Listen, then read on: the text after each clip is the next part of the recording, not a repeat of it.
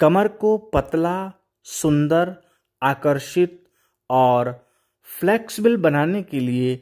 आपको नियमित रूप से इस आसन का अभ्यास करना चाहिए